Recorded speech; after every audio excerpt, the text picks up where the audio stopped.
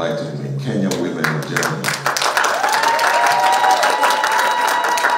In our strength, and I rephrase the words of the American one, motto has, it says, a single bracelet does not jingle. I'm proud to be here representing you, representing them, and the people of in we had a passportation center and so on.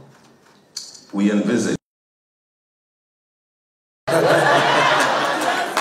I am the cabinet secretary in charge of roads. We are engaging diaspora.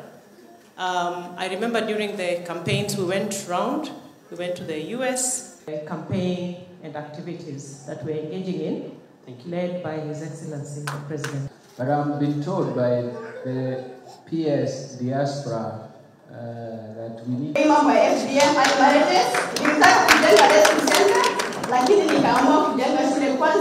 nipate pia kupewa wavulana wetu space education because education is your job should be. Already, I, I know you have already engaged with a similar case. ¡Oh!